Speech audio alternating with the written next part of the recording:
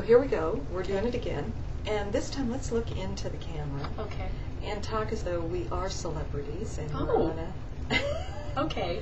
And I was just, you know, like doing it with another person too. You may wonder why, I, you know, but it's just a little odd to just be in here talking to myself. We just, a lot of times I. What you doing? we walk by every once in a while and go, oh, our headphones are on. I wonder what she's doing. and that's the other thing. See, I don't know if the headphones. I don't want to use the headphones. I want to be able to have that pick up the thing. We may find that we Right. can't even hear each other. Hear. I don't know. Oh. It's supposed to be good enough to Picking pick it up. up, right? Are we close to it? Like, We you don't it's just a have. distance I don't thing? think we have to be close to it because it's supposed to be that good. How but we awkward, also too. have this blowing going in on. my office that I cannot stop. Hmm. So I feel like I'm staring intently at it. It's Are you? very challenging.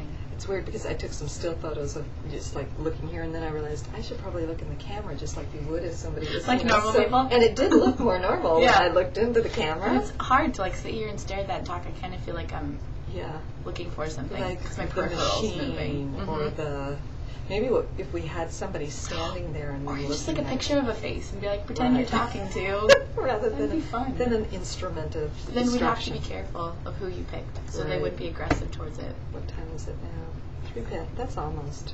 Let's do it. Let's stop. Shall we stop? It's fine with me. Okay.